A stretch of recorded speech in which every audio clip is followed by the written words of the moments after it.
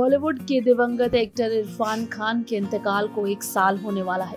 लेकिन ना तो एक्टर का परिवार और ना ही उनके फ़ैन अभी तक उनके निधन के सदमे से बाहर निकल पाए इरफान खान के बेटे बाबल खान अक्सर अपने पोस्ट के ज़रिए अपने पिता को याद करते रहते हैं। अब बाबिल खान जल्द ही अपने पिता के नक्शे कदम पर चलते दिखाई देंगे।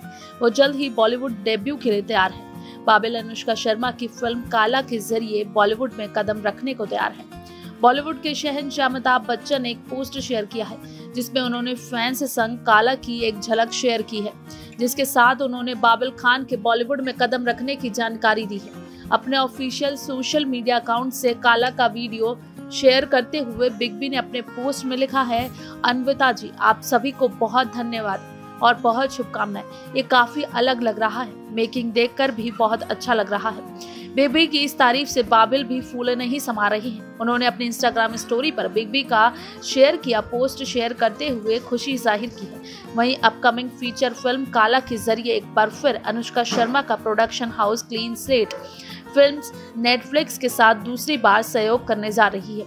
इससे पहले एक्ट्रेस की बुलबुल भी नेटफ्लिक्स पर रिलीज़ हुई थी।